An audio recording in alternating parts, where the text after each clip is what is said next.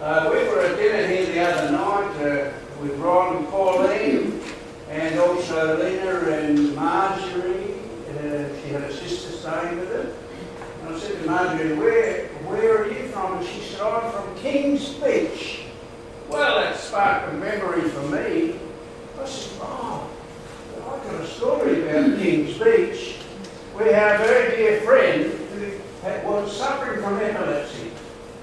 And she went swimming with her little family, three little girls, and their mother and her husband. Husband went out to try to catch a wave, and Grandma was looking after the little girls. And this lady got taken out in the waves, and she had an epileptic fit, and she drowned. And no one missed her for quite some time, until the waves on Kings Beach rolled her body on the shore. And of course, the lifesavers came and they tried to do mouth-to-mouth resuscitation. They called an ambulance. The family gathered around. The husband came back, and the ambulance came. They took her to hospital. They tried all sorts of treatment in the hospital until eventually the doctor said it's too late. She's gone. So they covered her with a sheet and left her. Closed the door, left. Meanwhile, Grandma has taken the three little girls back to her house at Kings Beach. She says, come on girls, we're going to talk to Jesus. So she takes the girls and they get down on their knees and they talk to Jesus to save their mummy.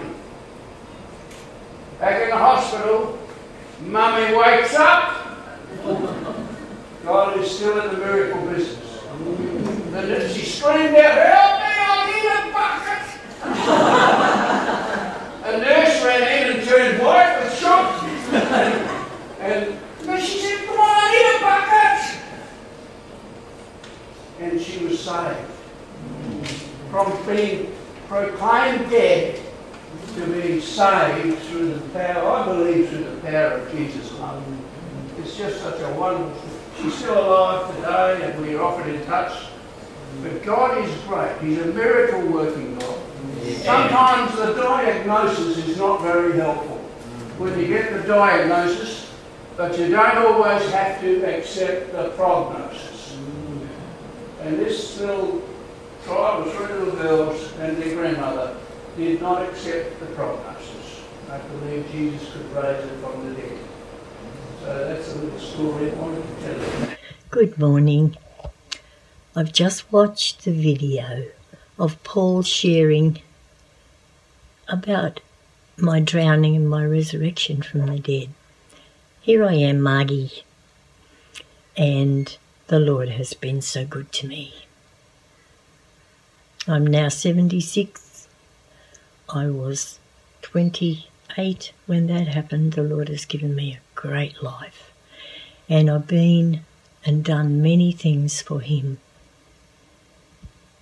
Been to the mission field. I'm now working in my church still, running Alpha, the Alpha course. And I see that you have a beautiful group of people that meet there. You all meet together. Well, God bless you. You know, as we get older, we draw near to the Lord because He is our strength. He is our courage, and only He will sustain us through these days that we live in. It's never too late. Always call upon the Lord. Amen. God bless. Bye.